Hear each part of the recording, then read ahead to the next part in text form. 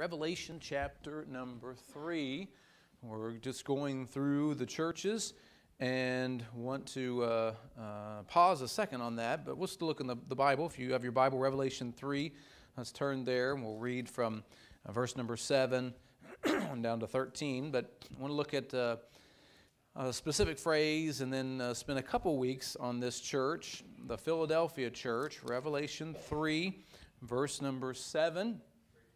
Oh, yeah. oh, you got the video. Let me read this and then we'll sit down and watch it, okay? Since I've I got everybody going here. Revelation 3, verse number 7, okay? And to the angel of the church in Philadelphia write, These things saith he that is holy, he that is true, he that hath the key of David, he that openeth and no man shutteth, and shutteth and no man openeth. I know thy works. Behold, I have set before thee an open door, and no man can shut it, for thou hast a little strength, and hast kept my word, and hast not denied my name.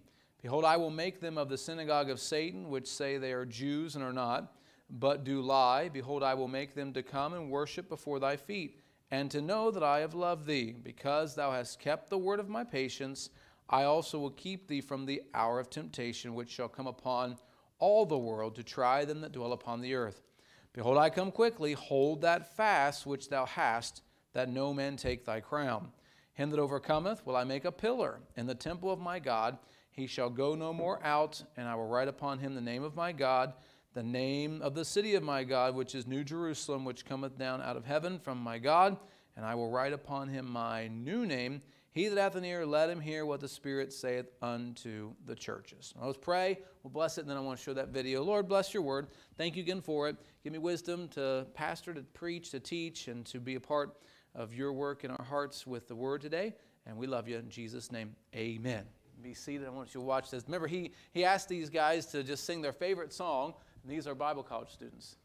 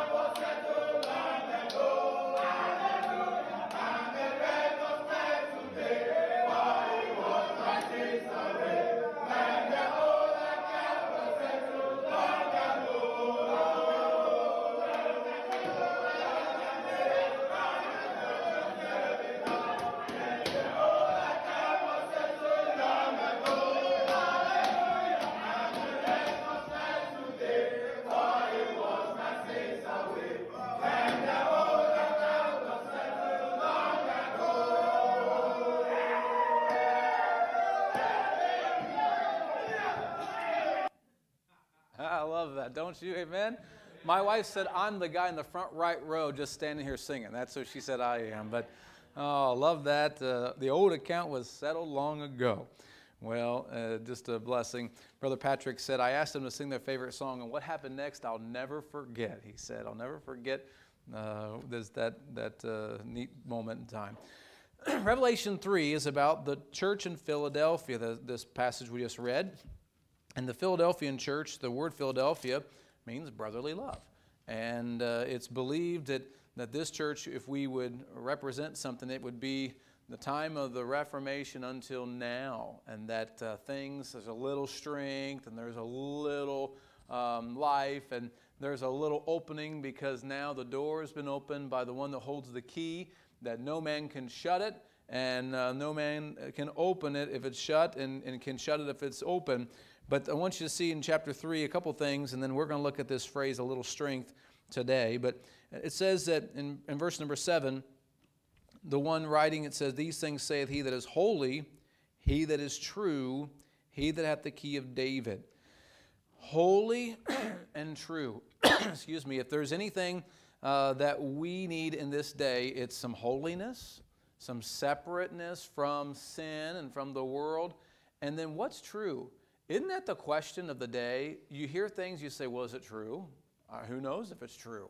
Uh, we heard this, but I don't know if it's true. Well, I got it on the internet. It's got to be true. Not, right? Uh, uh, the, truth is so important. And, and, and it's like, uh, I don't care if you're Republican, Democrat, Independent. I would like to hear the truth from any side. And, and you, don't, you don't get it from any side. There's, there's all kinds of of things that are said and, and per, uh, put out there. It don't matter. Uh, I, I, don't matter who you like or who you don't like. There's a bunch of lies. There's a bunch of untruth or unknowing. And then when it comes to uh, all different areas of life, you just wonder. Let's just talk about the weatherman. Can someone say amen? I mean, is, does the weatherman ever? We don't know what's true. The only thing that I know for sure is true is the claim of the Word of God, and I believe every single page of it's true. And there are websites devoted to trying to declare how untrue the Bible is and using half truths or straw man arguments to try to cast doubt upon this. And it's just not there. The more you inspect and the more you look, the more you see this book is true. It's valid in all areas scientific, archaeologic, geographical, humanitarian, philosophical. This book is the only real truth that I am confident about in this world. And so he identifies himself, he that is true, and hath the key of David, he that openeth and no man shutteth, and shutteth and no man openeth. Uh, this key is important too because there are doors that I, I just know that if it wasn't for God opening, how would we ever get through? How would we ever um, be able to make it in life? Have you ever felt like that? That just, just you happened onto something and then you realize God opened that door. God made it possible for us to go through that. Um, somebody was telling me that, uh, oh, uh, Sister Hecker, Christy Hecker, she hasn't been able to come for a while. And she said, Preacher, I'm coming tonight. I'm planning on it. And uh, uh we were talking, and I said, uh, she said, I'm glad that you came to Marysville. And I said, Well, I'm glad you came to Marysville. Uh, you, if someone finds our church now, it's not hard to find. You can see it from all different angles, even without a sign. Can somebody say amen? You can see. but if you found our church back in the old stockyard, you, God had to send you there because it just wasn't on the, the, the broad way. It was on the, the straight and narrow way off of the, the beaten path. And remember when Christy came, she said, The Lord told me to come to this church. I don't know why I'm here, but the Lord told me. And then when I came in, I thought, I'm never leaving this church. And, and uh, just how that happened, it was just, she said, I don't, I can't tell you how to dream I had a dream about going to your church, and that's why I came. And so uh, God opens doors and, and makes ways. And, and you say, well, why doesn't He open up every door? Well, I think that some things we need to go by faith and not just by sights and signs. I think that God shows us some things, but if God had to show you everything and do, th- then what faith is involved and what trust is there as well? And uh, God has showed me some things, but also He's required me to do some things by faith. And when I couldn't see it, I'm just still going to believe and do it. And both of those are God honoring, um, but there's also a time, I think, for each one for growth. Uh, so in Revelation, this, this church, he identifies himself as the one having the key of David. Go hold your place here. Go back with me to Isaiah chapter 22. I want to show you something with that thought in mind. Isaiah 22. What do you need to know to understand Revelation? All the other books of the Bible. That's what you need to know. Uh, it, takes, it takes all of them. Uh, Revelation uh, Revelation 3 refers back to Isaiah 22. Look at Isaiah chapter 22. Let's start verse number 20. The Bible says, It shall come to pass in that day that I will call my servant Eliakim, the son of Hilkiah. I will clothe him with thy robe, strengthen him with thy girdle, and I will commit thy government into his hand, and he shall be a father to the inhabitants of Jerusalem and to the house of Judah. And the key of the house of David will I lay upon his shoulder, so he shall open, and none shall shut. He shall shut, and none shall. Hmm, interesting, isn't it? And I will, look at this, verse 23. I will fasten him as a nail in a sure place, and he shall be for a glorious throne to his father's house. And they shall hang upon him all the glory of his father's house, the offspring and the issue, all vessels of small quantity, from the vessels of cups, even to all the vessels of flagons. In that day, saith the Lord of hosts, shall the nail that is fastened in the sure place be removed and be cut down and fall, and the burden that was upon it shall be cut off, for the Lord hath spoken it. Interesting, this prophecy about Eliakim the son of Hilkiah. Eliakim in Hebrew, that word means God raises up. Hilkiah means the portion of Jehovah. And so, literally, I'm going to call my servant the one who God raises up, who have the portion of Jehovah. Doesn't that sound like Jesus? The one that God's going to raise up and then he's going to have the key and, and the Father's throne and the Father's house. Jesus said, I go to prepare a place, and my Father's house are many mansions. And you start realizing that some of these New Testament verses, hmm, have some Old Testament fulfillment and roots. And that's because the Holy Spirit wrote the whole Bible. And in Revelation 3, he identifies himself as the true one who has the key of David that opens and no man shuts and closes and no man can open. I think that's what we're talking about. Uh, the Lord Jesus is identifying himself and fulfillment of um, Old Testament prophecies and references so that uh, you can see how it all dovetails together. I like it that he's referred to as a nail in a sure place. Didn't they nail him to a cross? And it was a sure place where all my sin was paid for. And then um, he's fastened and be removed and cut down and fall and the burden that was upon it shall be cut off. Jesus is referred to in Isaiah 53 as the one that was cut off from the land of the living. For the chastisement of my people was he smitten and stricken. He is our answer for our sin, and he's the answer for us to get in. He's got the key to the door. So in Revelation 3, just some of those references. Um, I wrote down Acts 15, verse 16. Would you turn there a second? Acts 15, verse 16, looking up some verses of reference to uh, uh, this thought. it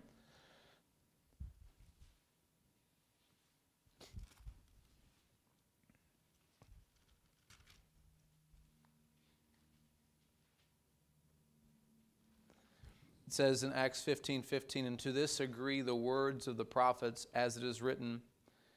After this, I will return and will build again the tabernacle of David, which is fallen down, and I will build again the ruins thereof, and I will set it up, that the residue of men might seek after the Lord, and all the Gentiles, upon whom my name is called, saith the Lord, who doeth all these things, known unto God are all his works from the beginning of the world.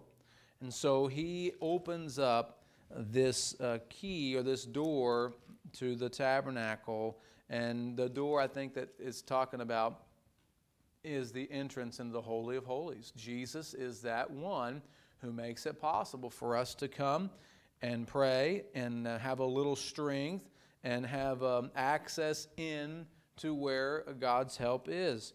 The Bible tells us that we labor to come into His presence and come boldly before the throne of grace to find help in time of need, Hebrews chapter 4.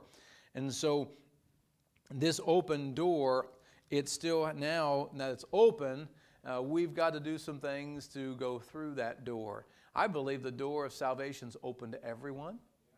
You just got to walk on through. Uh, the door, He is the door, and you can only come into heaven by Him. But the door doesn't bring you in, it just opens to let you in. You see what I'm saying? Uh, that you have to walk through the door uh, in order to get into the room. so if it's locked, you can't get through the door.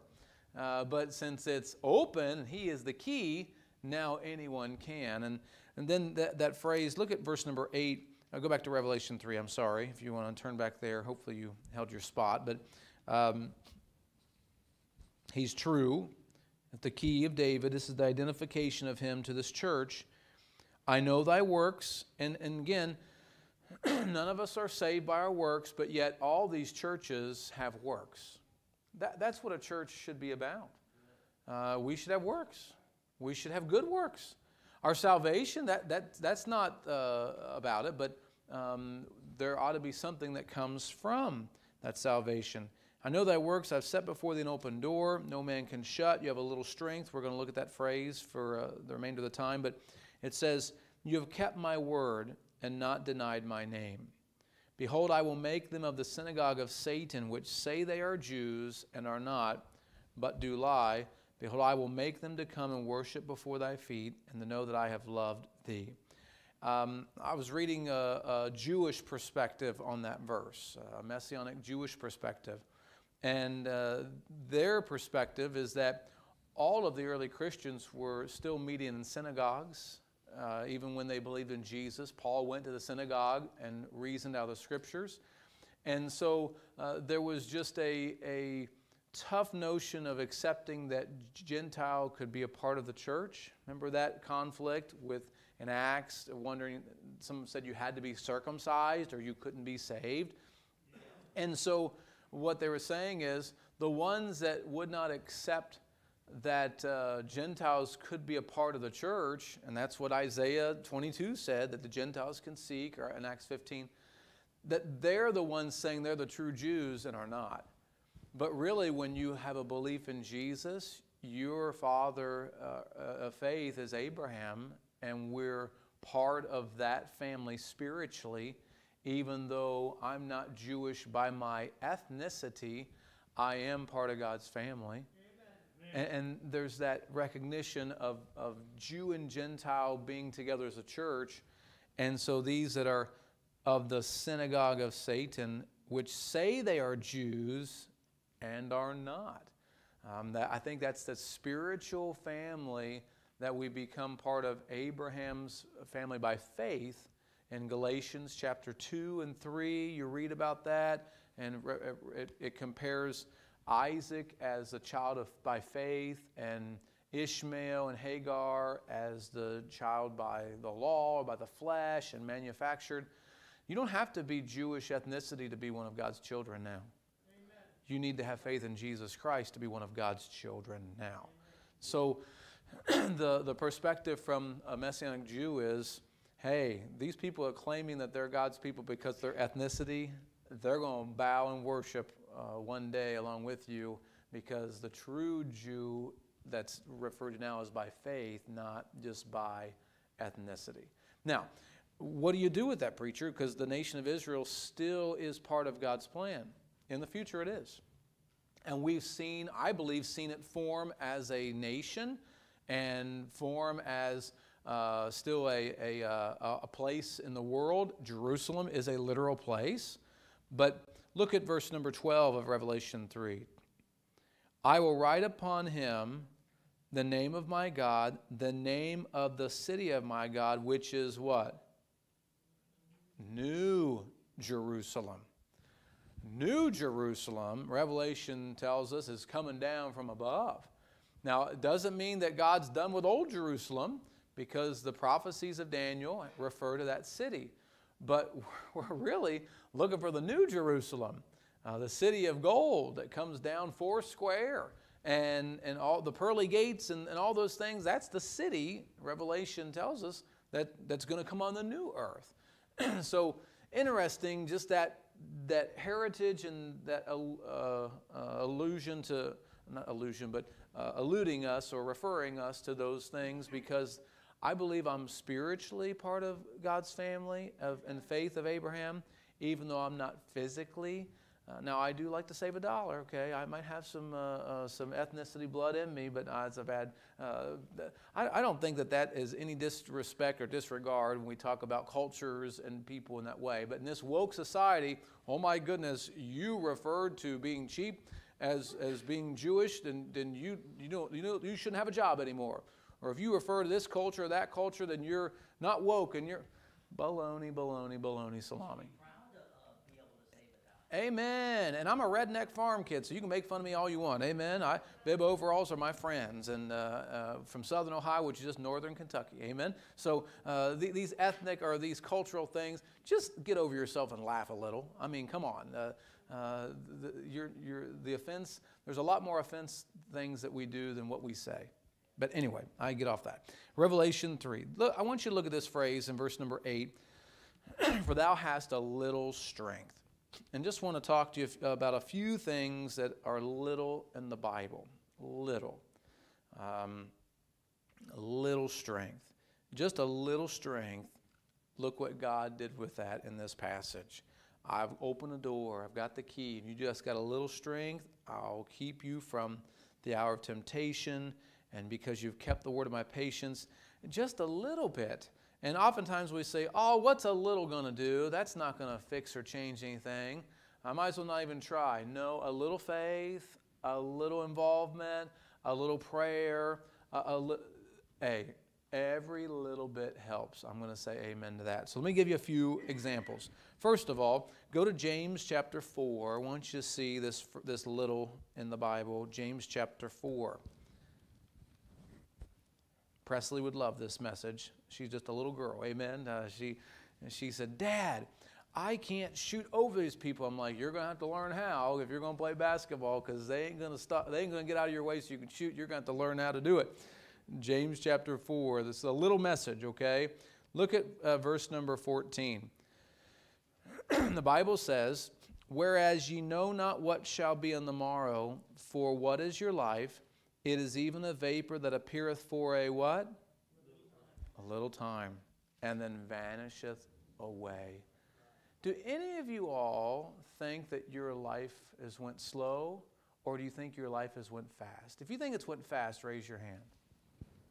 Just conducting a little survey here. I think my life has gone by super fast. My goodness, where did it go? Where did it go? The time, the months, the, the years. It's just a little time. We have just a little time.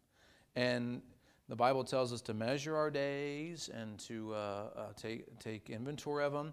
But because it's just a little time, don't miss it. Don't let it pass without doing something that will last. Psalm 37:10 says, uh, "Oh, did I have? Oh, I'm in Job. Let me get Psalms. Psalms 37:10. I'm going to read it to you real quick it says, For yet a little while, and the wicked shall not be. Yea, thou shalt diligently consider his place, and it shall not be. Not only do the righteous, their time goes quick, the, the wicked, their time goes quick. Everyone's life is just a vapor. It's here today for a little time, and then it vanishes away.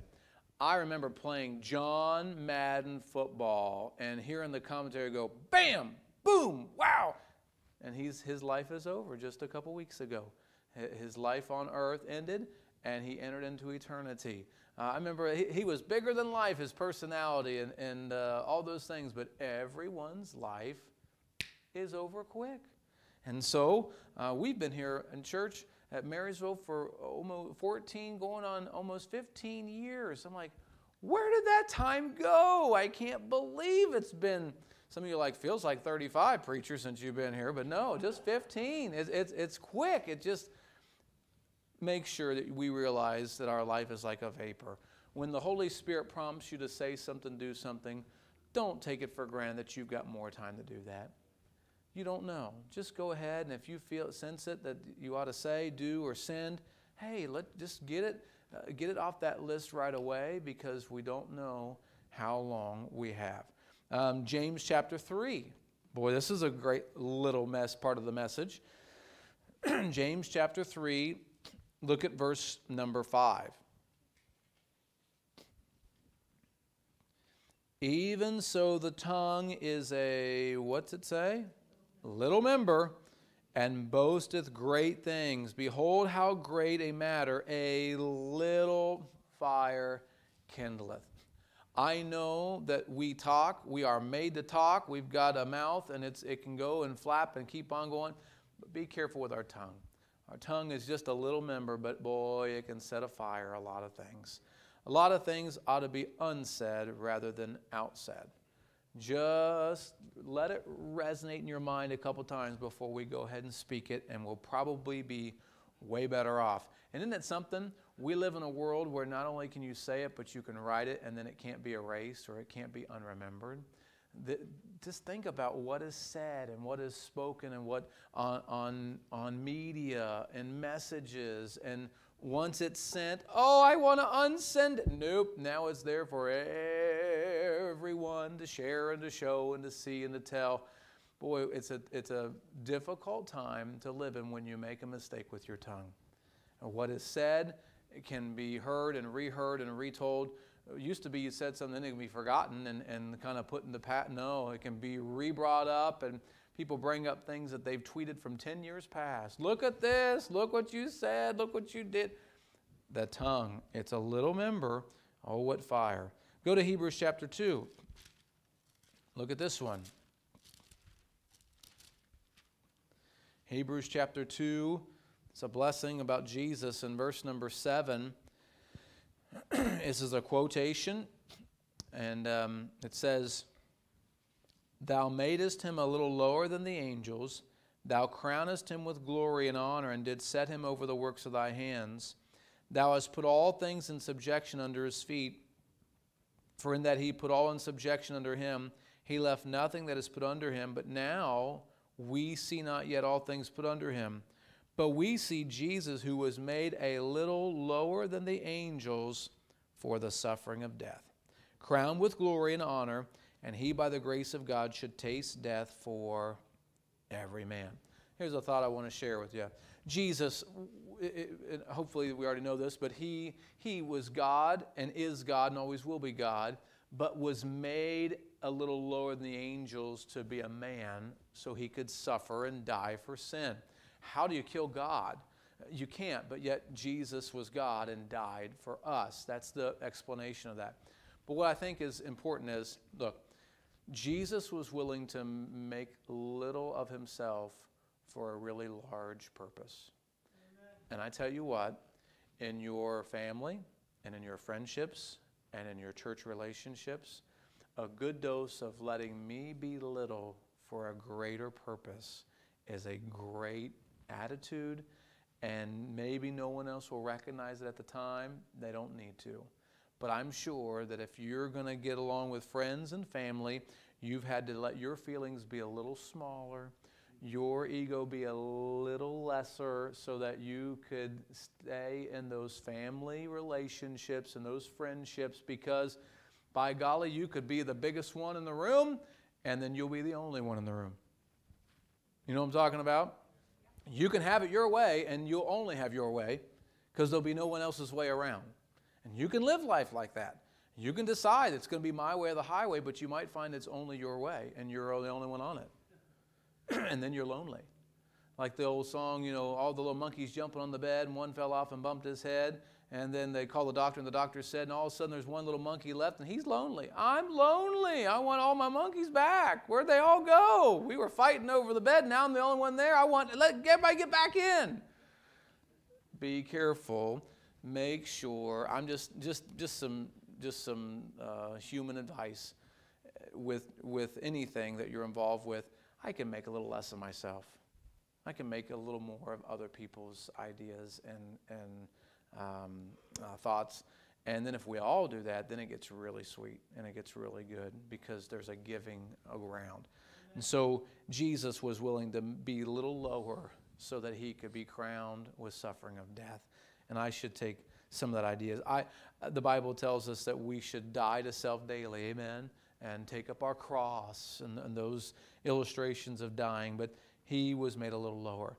Uh, go to Galatians chapter 5. Galatians chapter 5.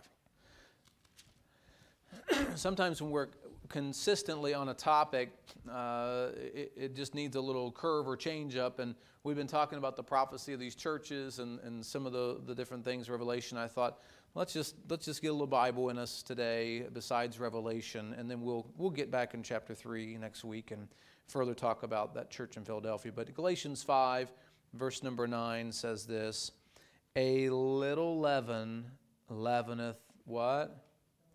The whole lump. A little leaven leaveneth the whole lump. Um, with this thought, there's a couple Old Testament verses I want to look at. But leaven, you know, it just takes a little bit to make everything rise. It doesn't take a lot. And the illustration of leaven is sin, hypocrisy. Um, in Corinthians, when the man that was in sin uh, was, the, he, uh, Paul told the church to put him out because of the, of the severity of his sin. And that same phrase is quoted Don't you know a little leaven leaveneth the whole lump? Church, it's, you need to, uh, to remove that so the spirit can be saved. It's not a question of the spirit of the man being saved. He was a member of a church. I believe he was saved. But he was uh, taking down the whole church. And so then, then in 2 Corinthians, hey, he repented, let that guy get back in. Bring him back in. Uh, he suffered enough. Let, now he's right. Let, let's re, uh, re um, uh, join him and, and, and go forward. But th- this is true with a little leaven. Go to Ecclesiastes chapter 10. A little folly. Ecclesiastes chapter 10.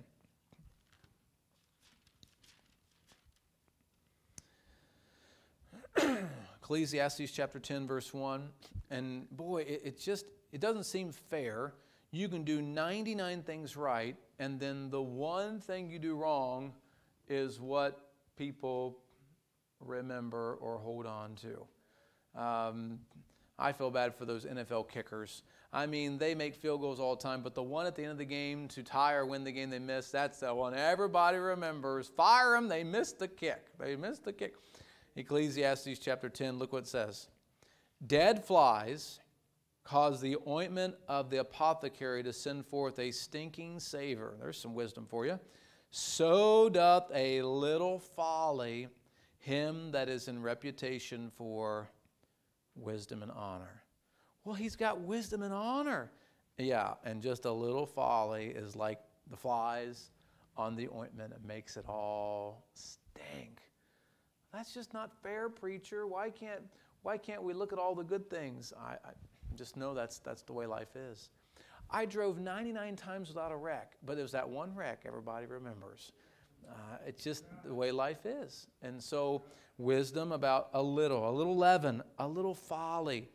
Um, Proverbs chapter 24, I believe, says very similar thing. Proverbs chapter 24, verse 33 and 34.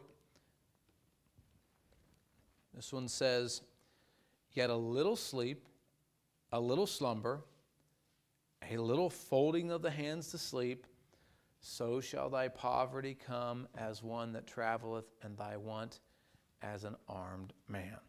Well, I just had a little bit, yeah, and that leads to the poverty and other things. So, a little folly, a little leaven, those are things in Scripture that warns us about. Now, go to, um, while you're in Psalms, Look at Psalm 37. Oh, you're in Proverbs. You're in Proverbs. Look at Proverbs um, uh, 16, verse number 8. Proverbs 16, verse 8.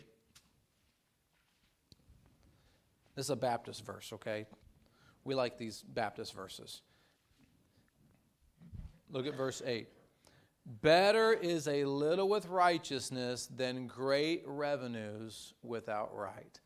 So be content with not having a lot, but being righteous with it, rather than having a lot and not being righteous at all.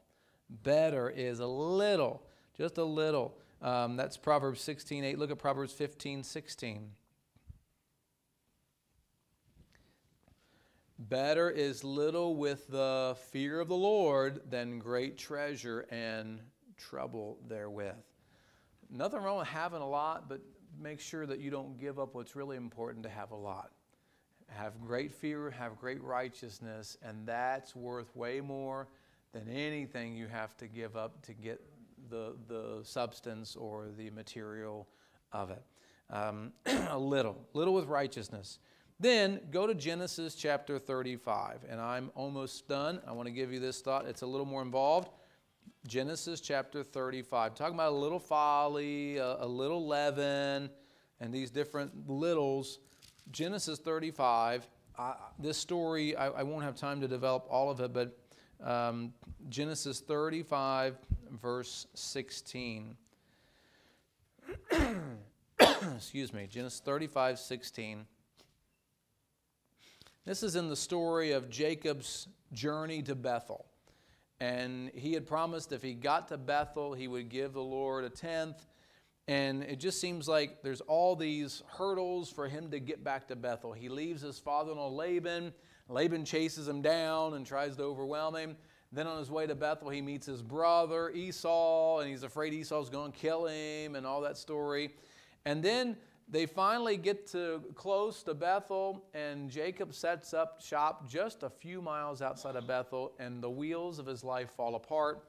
His daughter is taken advantage of. Then his sons try to revenge her, um, her uh, uh, assailant and her persecutor. And uh, there's this Jerry Springer stories happen in, in Genesis around here. But in Genesis 35, they make it back to Bethel, and then look at verse 16. After they finally make it to Bethel, God takes care of them. It says, And they journeyed from Bethel, and there was but a, what's it say? A little way to come to Ephrath. And Rachel travailed, and she had hard labor. It came to pass when she was in hard labor that the midwife said unto her, Fear not, thou shalt have this son also. it came to pass as her soul was in departing, for she died. Rachel was the beloved of Jacob, wasn't she? That's what Jacob worked all this extra time for. That's the mother of Joseph and Benjamin. And Jacob tried to keep her from getting overwhelmed by Esau. Rachel was his just his trophy. His that was his everything. And when he finally made it to Bethel, he just went a little away from Bethel. And when he went a little way from Bethel, I believe the Lord allowed what he had prized to be taken from him. That's just my commentary, my opinion. Well, preacher, I'm almost there. I got there. I'm just going to go a little off the course. I'm just going to have a little bit of sin. I'm just going to have a little bit of fun or a little bit of folly. Mm-hmm. Well, I'm pretty good. I'm close, preacher. I'm right where I need. I'm close to where I need to be. You're not dealing with a preacher. You're not dealing with a parent. You're not dealing with another person. You're dealing with God Almighty. And I think that once we know where we ought to be, there's even more responsibility and there's more culpability. You forget what I'm saying? Um, it's one thing when you're learning, you don't know everything, but when you do, preaching to you Wednesday at nooners, uh-huh, uh, you know what you ought to be doing. You know where you should be the Lord. And then, well, I'm just a little way off. Hey, I don't want to be a little way off or a little anywhere off from where God wants me to be. I want to be right where He wants me to be. I think He calls it a straight and narrow road. That means if it's narrow, I don't want to be off in the ditch. I want to be right where the road is paved because you get off and that, there's no rumble strips or there's a deep ditch. You don't have to be out very far to pull you over the edge. I want to be right where I'm supposed to be. This story of Genesis 35 with Bethel, I, I need to, I'll preach it again. I love this story. It's just a neat Bible study, but they just went a little ways away. Remember when Lot left Sodom? I mean, the angels had to pull him out. His wife turned to a pillar of salt. You know what he said? Hey, there's just a little city over here. Can I go there? Uh-huh. Just a little city. That's what he said in Genesis 19 he still wanted to live close to Sodom. I'm like, run from that place. You've lost all con- you've lost your integrity, lost your testimony, lost your wife, lost your grandkids, and all. Get out of there. No, can I just go over here? It's just a little city. It's just a little way. What are you doing? Run from that place. Get to where God wants you. Amen. Amazing what we hold on to that we shouldn't, and what we let go of that we should hold on to. That's going to come up in this Revelation 3. It says, Hold on to that crown, lest any man takes it from you. You can't hold your salvation. We've talked about that with all these different illustrations with Revelation. Your name can't be taken out of the book, but you can lose the crown. And we'll talk about that next time in this passage of the church in Philadelphia. Okay? Heads are bowed, eyes are closed. Lord, thank you for your word today. Just a little Bible study about that word little. And there's a little time. We just have a little time. Boy, just a little faith. I didn't even get to that one. A little faith will move a mountain. Lord, thank you for just a mustard seed size of faith, what it will do if we put it in tandem with you. God, you're so good and you're so gracious. I pray that we wouldn't take that for granted and we would not forget it. Lord, help me uh, to remember my days and remember a little folly, just a little folly. Even if you're known for wisdom and honor, it just makes everything stink. God, I pray that you help me to be mindful, be careful, and to be um, walking in, in tandem and in, with you. We love you today. Thank you for the book. Thank you for the blood. Thank you for the blessed hope that you're coming to meet us in the air one day. Pray that we would be busy about your business. In Jesus' name we pray. Amen. Let's stand as we sing 596. If